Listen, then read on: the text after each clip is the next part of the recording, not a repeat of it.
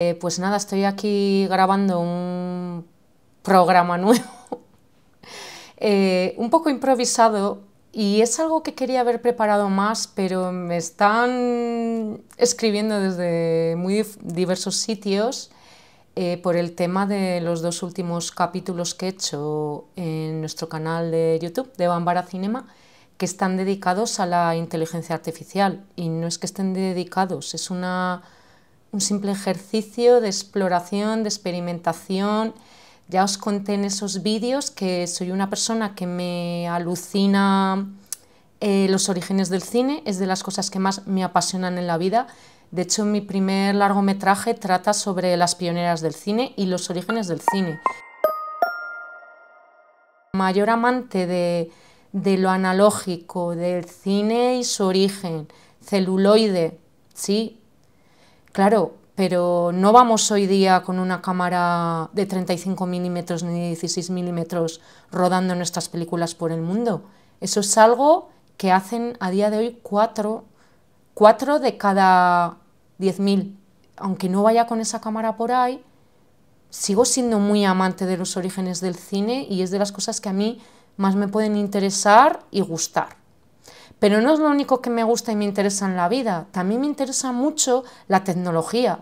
Es que una cámara de cine, en sus orígenes, cuando nació e incluso hoy en día las que siga existiendo por el mundo, es una tecnología.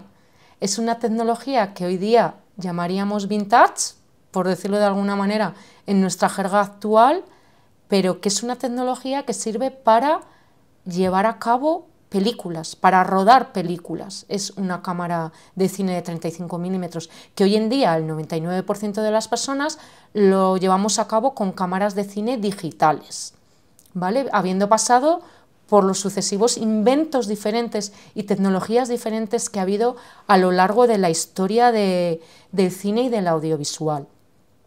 Entonces, dicho esto, que sirva para que podáis entender que desde luego eh, yo no estoy posicionada en ningún lado, porque para mí es tecnología de un tipo o de otro, vintage o futurista, pero es tecnología, que sirve para lo mismo, en principio, y que estoy experimentando con ellas. Entonces, como mucho podré contaros sobre mis experimentos, pero no os puedo contar sobre posicionamientos de ningún tipo ni puedo aventurarme a dar respuestas a preguntas que me han hecho que no las sé yo y no sé si alguien las sabe. Sentada a la base de que a mí me encanta la tecnología que sirve para eh, llevar a cabo películas audiovisuales y no solo esa tecnología, la cámara también sirve para hacer fotografías. Pues me encanta la fotografía y me encanta la fotografía experimental y me encanta el stop motion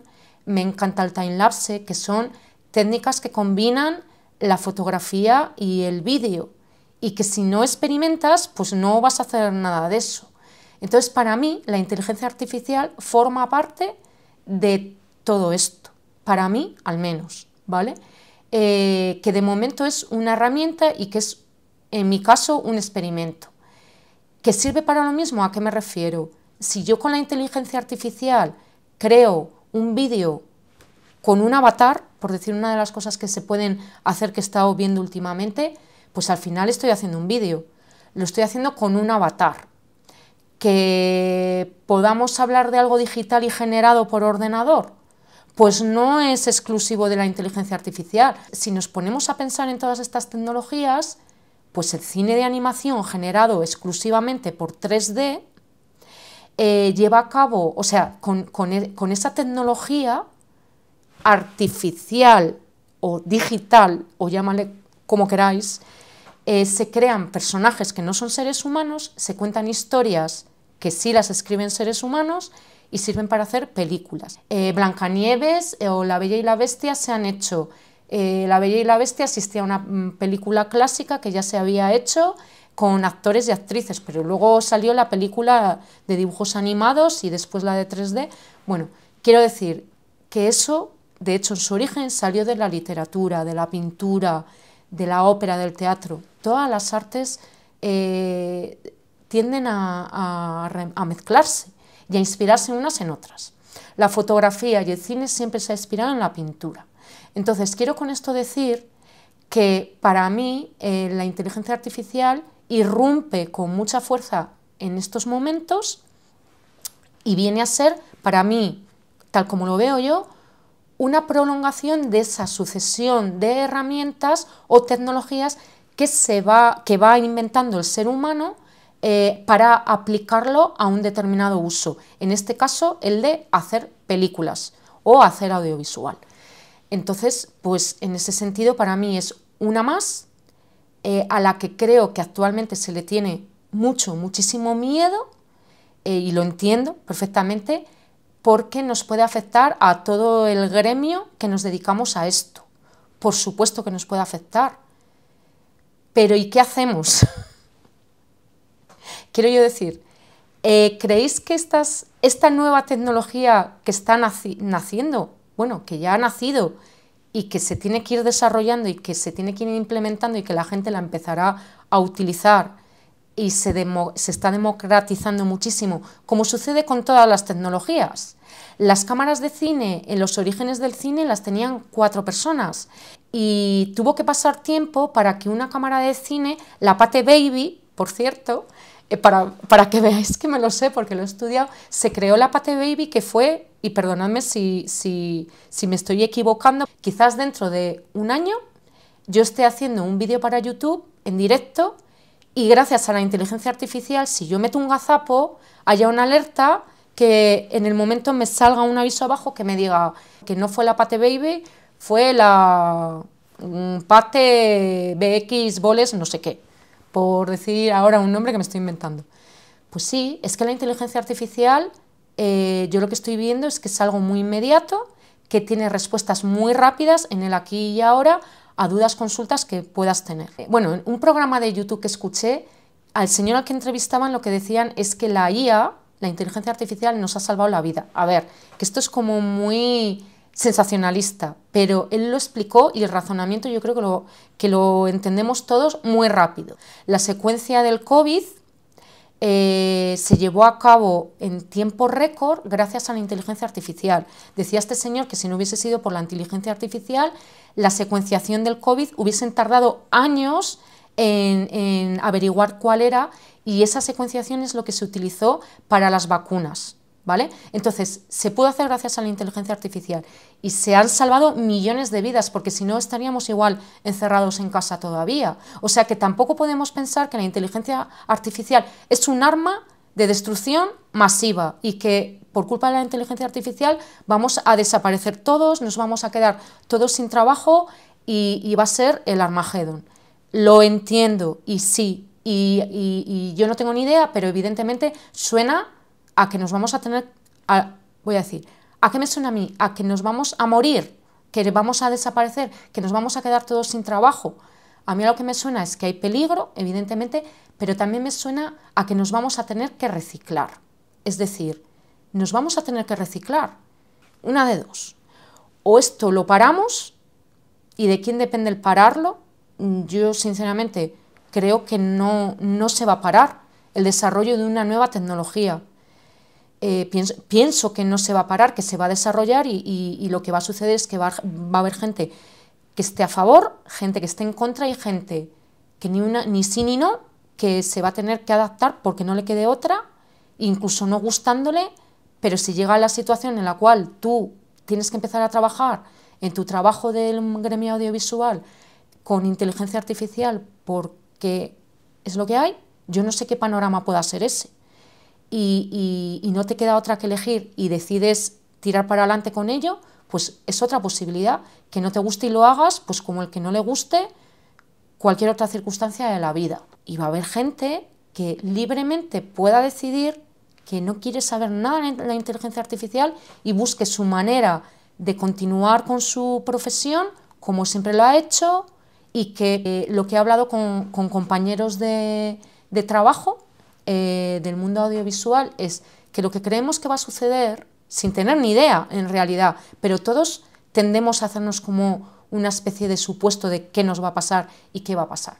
Pues una de las cosas que decimos es, hoy día siguen existiendo artesanos que siguen haciendo cucharas de madera, eh, personas que siguen haciendo alfarería, que siguen haciendo joyería a mano.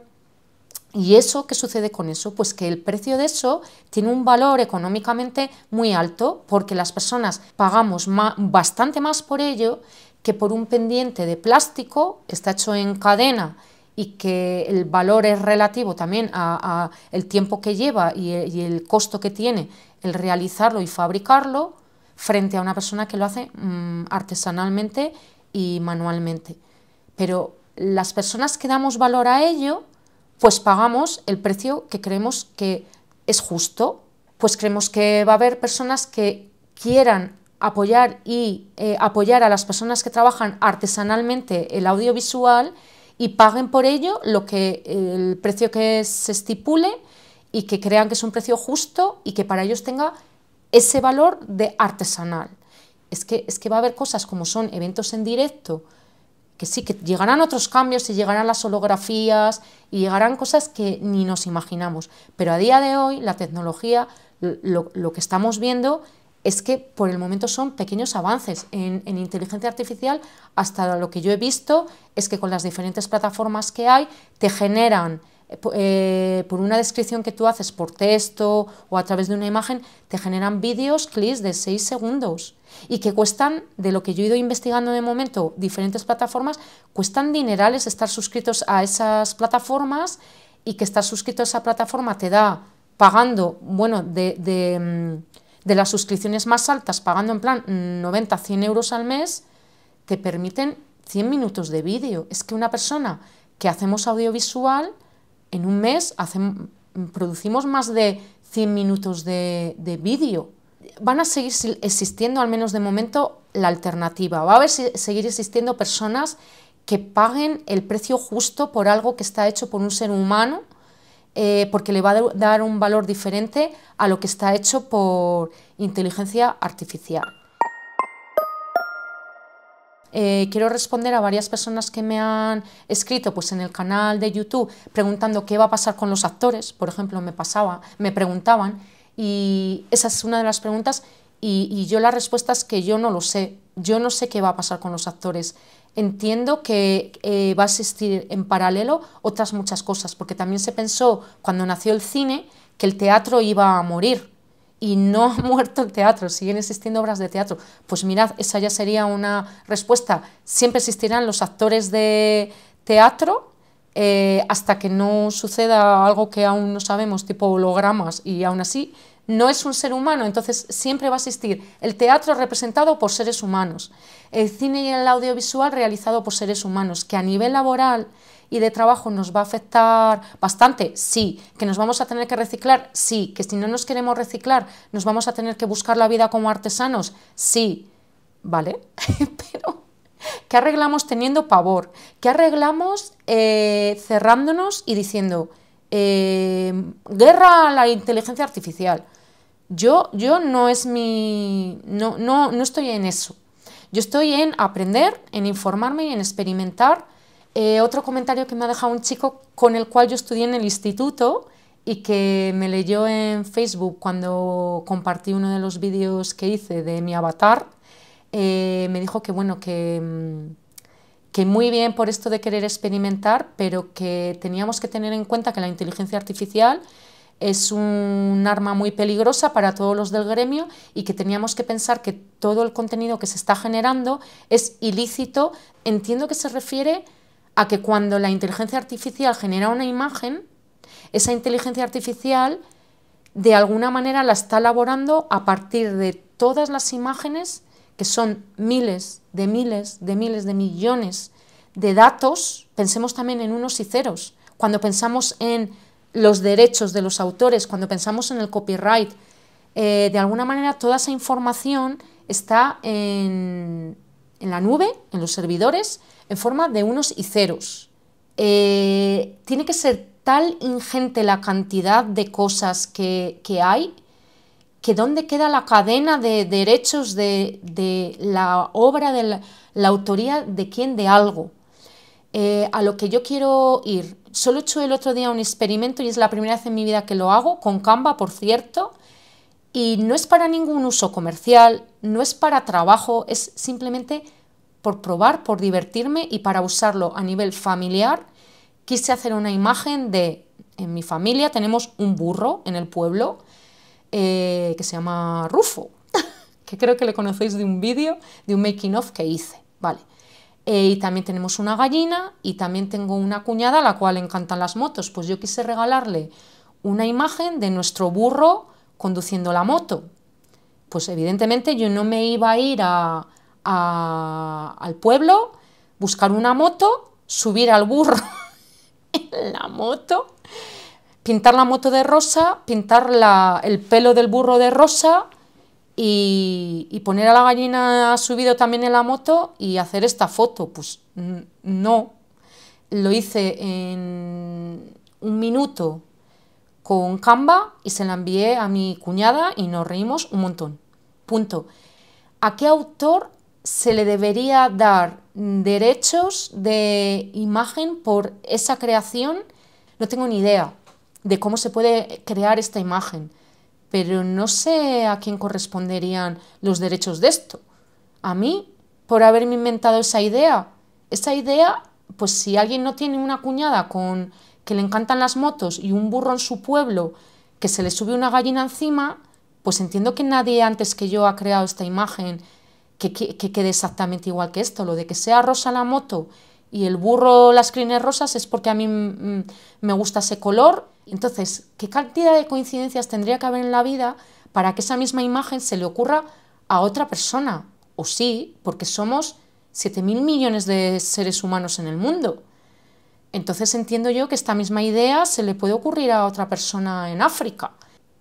Me gustaría saber cuándo nacieron los ordenadores y Photoshop y todo esto, las personas que eran décadas más mayores que nosotros que éramos muy chavales cuando nació, ¿qué pensaría un ilustrador? pues que iba a ser su fin y que nunca más iba a trabajar, pues probablemente eso no haya pasado y se ha empezado a, crear eh, y ha nacido un arte nuevo y ha nacido eh, el diseñador gráfico, ¿no? Eh, digital, pero yo sigo comprando un cuadro o sigo dándole muchísimo valor a un grabado, a una persona que dibuja en carboncillo. He ido a clases de dibujo y al mismo tiempo me encantaba Photoshop y crear con Photoshop, es que creo que no está tan reñido.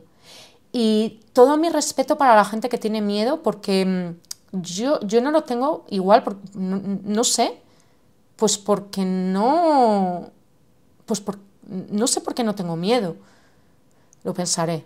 A ver, voy, voy a dejar para otro capítulo el pensar por qué no tengo miedo a esto. Lo que tengo es incertidumbres, pero miedo no, porque Mm, no está en mi poder, o sea, no está en mis manos, no está en mi poder. Lo que sí está en mi poder es investigar, explorar, aprender, eh, ver en qué se puede emplear, ver en qué me puede ayudar a mí. Y si yo tuviera ahora que ir a rodar una peli, iba a contratar a la misma gente y iba a hacer todo igual que siempre he hecho. ¿Vale? No, por el momento no está sustituyendo nada a nadie. Y sí estoy utilizando inteligencia artificial y ya os digo que un día ya os contaré en qué y cómo, de hecho, por si alguien le puede ayudar, pero ya os digo que es algo que a mí me está ayudando mucho, me está haciendo ir más ágil en el trabajo, sin sustituir a nadie, porque era trabajo que yo ya hacía con mucho, mucho esfuerzo y teniendo que meter mil horas más. Pues todo el trabajo que estoy haciendo actualmente apoyándome en inteligencia artificial eh, no está sustituyendo a nadie porque no hay nadie en Bambara contratado de forma permanente porque no, no se puede, ojalá. En respuesta a las personas que me preguntan, o incluso en respuesta a personas que puedan tener miedo, que puedan estarse preguntando qué hace Isa mm, con lo vintage que es y lo que le gustan los orígenes del cine y que se dedica a esto y vive de esto, ¿qué hace apoyando esto? No, lo apoyo. Yo simplemente estoy investigando, eh, creo que es mi obligación averiguar qué herramientas hay, para qué sirven y ponerme al día, porque es mi obligación. Lo mismo que hace poco he tenido que invertir en una cámara nueva, mucho más actualizada que la que tenía anteriormente. Es que es lo que hay, porque si no, ahí sí que me dejan de llamar para trabajar, o no, pero me cuesta el triple hacer los trabajos que a mis compañeros con sus cámaras mucho más avanzadas. Entonces es que se trata de, utilizar herramientas que nos hacen eh, tener mayor calidad de trabajo, desesperarnos menos, eh, hacer mejores vídeos, aunque nos cueste dinero invertir en esa tecnología, que es una cámara, pues en estas nuevas tecnologías es lo mismo. Entonces yo no tengo ni idea de dónde iba a ir a parar esto pero sé que, es, eh, que mm, para mí es necesario el no quedarme atascada, no quedarme obsoleta y avanzar. Yo pienso tener ética, siempre la he tenido. Yo no sé qué implicaciones va a tener la inteligencia artificial para que yo deje de ser una persona que aplica la ética en su trabajo y en Bambara Cinema, que es algo que creo que de hecho me, me define bastante como persona y, como productora a Bambara. Entonces, al hilo del tema de la ética, lo que sí os quiero contar es que me he apuntado a un curso de RTV, Radio Televisión Española, es decir, eh, algo bastante representativo del mundo del audiovisual, que es que es eh, la cadena de televisión pública del Estado. Bueno, pues me, me he apuntado a un curso de Radio Televisión Española que es online, que se llama eh, perdonadme, inteligencia artificial en medios de comunicación. ¿vale? Y os voy a leer un poco de qué trata. La modalidad es online, duración 25 horas, son tres semanas. En castellano dice aquí, precio 30 euros, pero son cursos bonificados. Si se completan RTVE, eh, te los bonifica y no te cuestan nada. bueno, ya estoy apuntada, tengo mi plaza. Si hay plazas y os interesa, pues os diría que os apuntéis. Y os cuento, mira, dice aquí, con este curso de especialización comprenderás el significado de la inteligencia artificial y su origen. Conocerás las automatizaciones más utilizadas y la secuencia de instrucciones lógicas y matemáticas que las consiguen. identificarás los aspectos éticos y sociales que plantea el uso de inteligencia artificial en nuestros días. Practicarás con diferentes herramientas IA que se usan en los medios de comunicación. Aprenderás cómo identificar fuentes, recopilar y procesar datos para evitar sesgos. Generarás contenidos con IA y comprobarás por qué es importante tener en cuenta aspectos éticos en su utilización. Con esta formación obtendrás un conocimiento muy específico sobre el uso y manejo de estas herramientas aplicadas en medios de comunicación y te mantendrás a la vanguardia de esta industria. En resumen, este curso, que son 25 horas, no me parece moco de pavo 25 horas porque luego habrá que hacer trabajos, presentarlos y demás. Hay tutores. Em, eh, aquí se va a debatir, se va a aprender y es que están haciendo mucho hincapié en el tema de la ética. Pero hacer hincapié en la ética no quiere decir ponerse una venda a los ojos, taparse las orejas. Entonces, Mm, yo lo único que voy a hacer es, hacer ese, ese curso precisamente para aprender, para abrir la mente, porque el miedo nos puede hacer bloquearnos, cerrarnos a la realidad. Eh, hay que tener en cuenta la ética, pero no hay que eh, cerrarse a las cosas hasta el punto de que nos autoboicoteemos. Entonces, me parece lo, mínimo, al menos en mi caso, que puedo hacer es esto, y me llama mucho la atención que sea precisamente RTVE quien haga este curso. Es que eh, RTVE también podría ser sustituida por la inteligencia artificial en un futuro si todo el mundo empieza a hacer contenido audiovisual y, mm, y, empieza a crear su propio contenido y las televisiones tal como están concebidas hoy en día desaparecen. Y no por eso. RTVE deja de eh, en, su formación de tener muy presente que se está dando formación en audiovisual online para eh, el reciclaje de los profesionales, que para eso es el proyecto AZ de RTVE, pues es que no puede, eh, o sea, ya ellos mismos se dan cuenta de que si se trata de dar herramientas que ayuden a los profesionales a reciclarse y a estar al día, pues no pueden hacer esto, esto y esto y, no aportar este conocimiento a los profesionales, porque para eso ha nacido el proyecto AZ.